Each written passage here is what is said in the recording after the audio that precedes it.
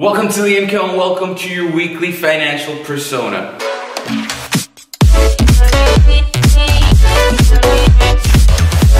Welcome to LeonCo, welcome to your weekly financial persona, and on this week's financial persona, we'll be discussing the oldest son of the founder of Walmart, yes, Samuel Bob Walton.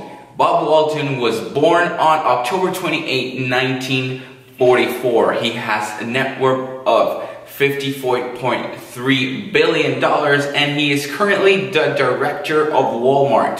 Uh, Bob Walton being the oldest son of Samuel Walton, the founder of Walmart. He studied in the University of Arkansas. Well, he graduated with a bachelor's degree in science, specialized in marketing. He has dedicated most of his life working for the Walmart company and in 1992, when the passing of his father, Samuel Walton, he took on the chairman role of the Walmart company.